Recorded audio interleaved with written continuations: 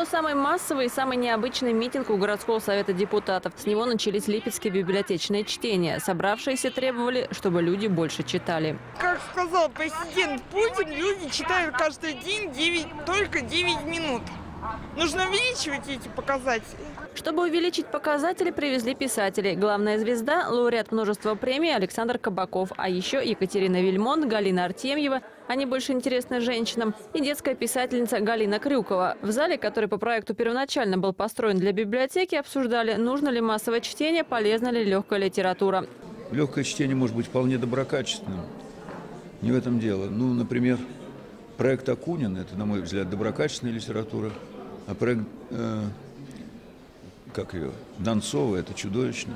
Один из главных вопросов чтения, как привлечь липчан к книге, приехавших писателей интересовал мало. Александр Кабаков заявил, что пишет не для читателя, а потому что хочется. Окружающая действительность всегда формирует не лучший вкус. Э, хороший вкус можно сформировать только в абсолютном противостоянии этой действительности. Автор женских романов Екатерина Вильмонт, она входит в пятерку писателей с самым большим тиражом книг. Критику тех, кому не нравится ее произведение, считает неконструктивной. Но, как правило, эти письма столь безграмотные, что относиться к ним серьезно я не могу. Понимаете, вот их упреки – это упреки каких-то абсолютно безграмотных людей.